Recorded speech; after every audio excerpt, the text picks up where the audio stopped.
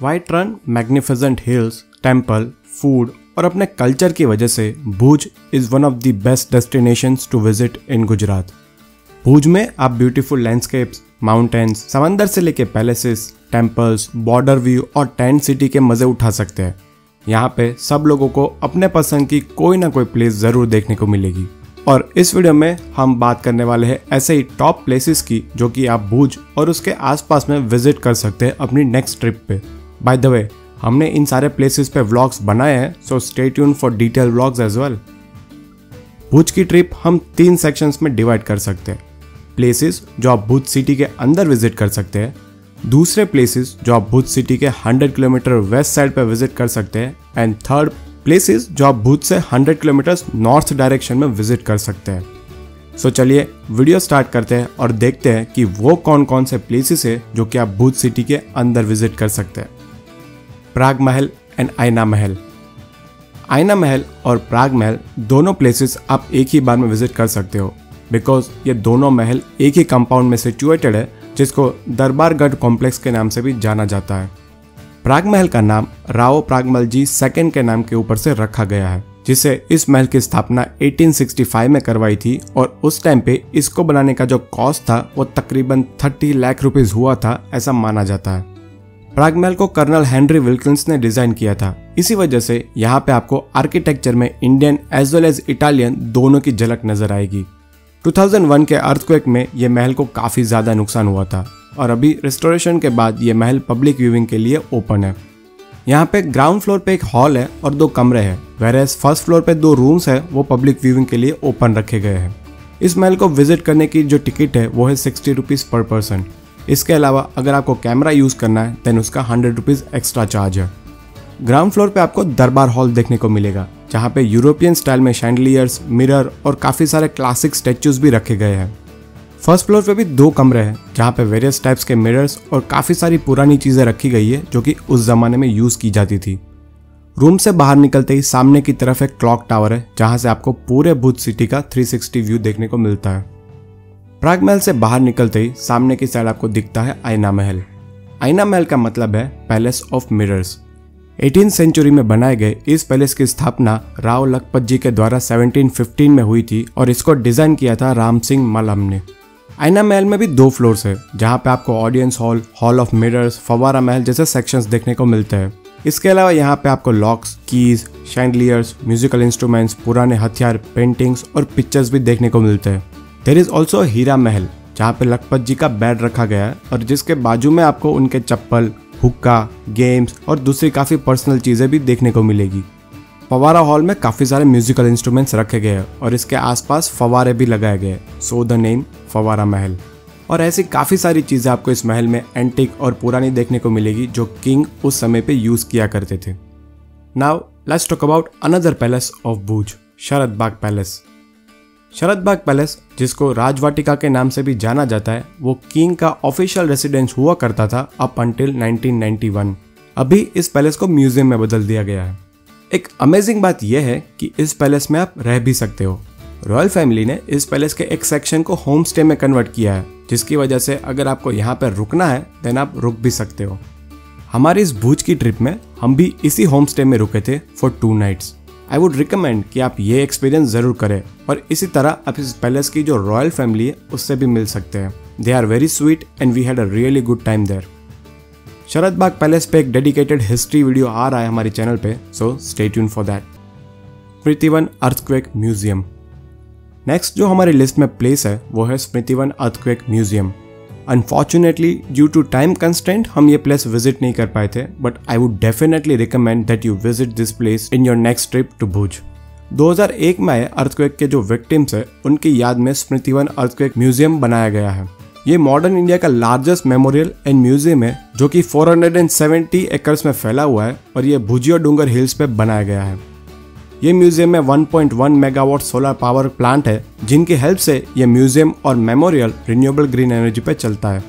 इस मेमोरियल में 50 से ज़्यादा चेक डैम रिजर्वायर्स है जहाँ पे 2001 के अर्थक्वेक के 13,000 से ज़्यादा विक्टिम्स के नेम प्लेट्स है। स्मृतिवन अर्थक्वेक म्यूज़ियम को सात गैलरीज में डिवाइड किया गया है जिनको rebirth rediscover restore rebuild rethink relive and renew नाम दिए गए हैं। सो so ये थे कुछ प्लेसेस जो आप भूत सिटी के अंदर विज़िट कर सकते हो। अब चलते हैं भूत सिटी से वेस्ट डायरेक्शन में और बात करते हैं अपने पहले प्लेस की, जो कि है माता का मठ। माता का मठ अप्रोक्सीमेटली 100 किलोमीटर दूर है भूत सिटी से। और यहाँ पे आशापुरा माता का बहुत बड़ा टेंपल है, जिसके दर्शन के लिए बहुत दूर दूर से लोग आते हैं। फोर्टीन सेंचुरी में बनाया गया आशापुरा माता का ये टेंपल जाडेजा समाज और पूरे भूज के लिए बहुत ही इम्पोर्टेंट धार्मिक प्लेस है। यहाँ पे दर्शन के लिए आने वाले श्रद्धालुओं को फ्री में दोनों टाइम पे प्रसाद भी दिया जाता है, जो कि एक बहुत ही अच्छी सेवा है। दर्शन के साथ साथ आप यहाँ पे काफ़ी सारी चीज़ों की शॉपिंग भी कर सकते हैं। लखपत फोर्ट। माता के मठ से 40 किलोमीटर वेस्ट साइड पे पड़ता है लखपत गाँव, जहाँ पे आता है लखपत फोर्ट। ये लखपत गाँव 18 सेंचुरी में एक बहुत ही इंपॉर्टेंट पोर्ट हुआ करता था फॉर ट्रेडिंग लखपत गाँव और इस फोर्ट का नाम 13 सेंचुरी के सिंध रूलर राव लखा के नाम पर से रखा गया है। सिंधु रिवर पे बना हुआ ये सिटी 18 सेंचुरी में एक बहुत ही इंपॉर्टेंट पोर्ट का काम करता था। और इसी वजह से इसकी सिक्योरिटी के लिए फतेह मोहम्मद ने 1801 में इस फोर्ट के आसपास बड़ी बड़ी दीवारें बनवा दी, जो आप अभी भी वहाँ पे देख सकते हैं। 18 सेंचुरी की शुरुआत में यहाँ पे ट्रेडिंग बहुत ज़ोर शोर से चल रहा था बट 1819 के अर्थक्वेक के बाद सिंधु रिवर का पानी लखपत पे आना बंद हो गया। और इसी रीजन की वजह से लखपत टाइम के चलते एक ग्लोरियस ट्रेडिंग सिटी से एक घोस्ट टाउन बन के रह गया। लखपत फोर्ट के पास एक गुरुद्वारा भी है, जो आप विज़िट भी कर सकते हैं और लंगर का आनंद भी ले सकते हैं। ऐसा माना जाता है कि गुरु नानक यहाँ पे दो बार रुके थे अपनी जर्नी के दौरान। नेक्स्ट अप इस कड़िया ध्रुव, जिसको ग्रैंड कैनियन ऑफ़ इंडिया के नाम से भी जाना जाता है। अनफॉर्चुनेटली ये प्लेस हमारे लिस्ट में होने के बावजूद भी हम ये विज़िट नहीं कर पाए थे। But I would highly recommend कि आप यहाँ पे ज़रूर विज़िट करें। यहाँ पे डिफरेंट टाइप्स के रॉक फॉर्मेशन है और उनके बीच में से पानी बह रहा है। ये एक बहुत ही ऑफ़ बिट प्लेस है, जो सबको पसंद आएगी नहीं। But if you are an adventurer then you would definitely like this place यहाँ तक पहुँचना थोड़ा चैलेंजिंग भी है बिकॉज़ रास्ता खराब होने की वजह से कार या फिर बाइक चला के यहाँ पहुँचना थोड़ा डिफ़िकल्ट हो जाता है। यहाँ पे आपको एंट्री पॉइंट पे जीप्स मिल जाएगी, जो आपको अप्रोक्सीमेटली थाउज़ेंड या फिफ्टीन हंड्रेड रुपीज़ पर पर्सन के हिसाब से अंदर तक लेके जाएगी। This is a really beautiful place और न्यूयॉर्क टाइम्स के best places to visit in 2021 की लिस्ट में इस प्लेस का नाम भी मेंशन है। White Rann and tent city तो चलिए, अब बात करते हैं भूज के सबसे फ़ेमस प्लेस के बारे में the white Rann and the tent city Bhuj आए और वाइट रन नहीं देखा देन आपकी ट्रिप इनकम्प्लीट है। And I would also suggest कि आप सिर्फ़ वाइट रन ही ना देखें, आप टेंट सिटी में भी रुके ताकि उसका फ़ूड कल्चरल प्रोग्राम और एक्टिविटीज़ है, उसका भी आप मज़ा उठा सकते हैं। रन ऑफ़ कच्छ जिसे वाइट डेजर्ट के नाम से भी जाना जाता है, वो दुनिया का सबसे बड़ा सॉल्ट डेजर्ट है। एवरी ईयर नवंबर से लेकर फरवरी तक यहाँ पर रन उत्सव होता है, जिसमें आप टेंट सिटी में रह के different different culture activities trip to white Rann and tents में रहने का मज़ा ले सकते हैं। टेंट सिटी में भी आपको डिफरेंट टाइप्स के टेंट मिल जाएँगे based on your requirements and budget tent city के पैकेज में आप breakfast, lunch, high tea, dinner, cultural programme और विज़िट टू वाइटर्न भी इंक्लूडेड होता है। यहाँ पे आप वन नाइट, टू नाइट्स और इवन थ्री नाइट्स तक रुक सकते हैं, जहाँ पे आप डेली यहाँ से आपको डिफरेंट डिफरेंट प्लेसेस विज़िट करने के लिए लेके जाते हैं। I am adding the link in the description जहाँ से आप टेंट सिटी के लिए अपना पैकेज बुक करवा सकते हैं। वाइट रन के विज़िट के टाइम पे आप वहाँ पे सनसेट का मज़ा उठा सकते हैं। और इसके अलावा camel riding horse riding adventure bike riding para motoring और सनसेट फोटोग्राफी भी कर सकते हैं। कालो डूंगर। टेंट सिटी से आप विज़िट कर सकते हैं कालो डूंगर, जो कि कच्छ रीजन का हाईएस्ट पॉइंट है। ये कच्छ रीजन का लास्ट पॉइंट है, जहाँ तक लोगों को जाना अलाउड है। यहाँ से आप आर्मी पोस्ट पूरे कच्छ डेजर्ट का व्यू और बॉर्डर भी देख सकते हैं। काला डूंगर के बीच रास्ते में मैग्नेटिक हिल करके एक एरिया भी आता है, जहाँ पे मैग्नेटिक फ़ील्ड की वजह से आपकी कार ऑटोमेटिकली रिवर्स में चलने लगती है। काला डूंगर पर 400 इयर्स ओल्ड दत्तात्रेय टेंपल भी है। काला डूंगर के टॉप पे जाके आप बाइनोकुलर्स रेंट कर सकते हो, जिसकी हेल्प से आप India Pakistan bridge, Hanuman temple last Indian village जैसे पॉइंट्स भी देख सकते हैं। It will cost you approximately 50 to 100 rupees per person to rent it and I would suggest कि आप बाइनोकुलर्स है, वो टॉप पे जाके रेंट करें instead of Dattatreya temple road to heaven last but not at all least जो place हमारे list पे है, वो है road to heaven I am sure आप लोगों ने बहुत सारी रील्स देखी होगी इंस्टाग्राम पे इस प्लेस की बट ट्रस्ट मी वो रील्स इस प्लेस की ब्यूटी और डेंजर को जस्टिफाई नहीं करते हैं. It's a really surreal experience to visit this place ये एक 35 to 40 kilometres long narrow road है, जिसके दोनों साइड पे थोड़े किलोमीटर्स पे पानी और थोड़े किलोमीटर्स पे आपको वाइट रन दिखेगा।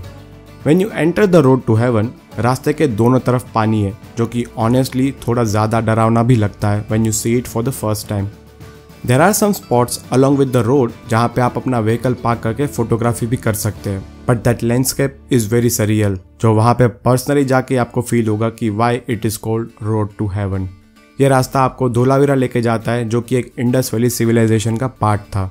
Visit this road in the day time only because night पे यहाँ पे कोई लाइट्स भी नहीं है and it could be very dangerous I am not sure यहाँ पे नाइट टाइम पे ड्राइविंग अलाउड है या नहीं बट अगर दिन में ये इतना डेंजरस लगता है then you can only imagine night time पे तो क्या हालत होगी फ़र्स्ट टाइम ये रोड पे चलने वालों के लिए।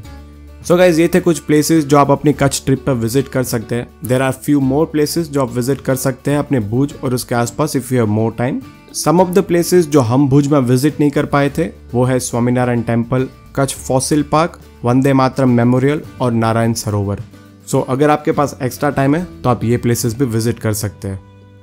So that's it for today's video अगर ये वीडियो आपको पसंद आया then please hit the like button share it with your friends and family जो कि भूज की ट्रिप प्लान कर रहे हैं. And also subscribe to the channel for more travel videos like this and will see you in the next video happy travelling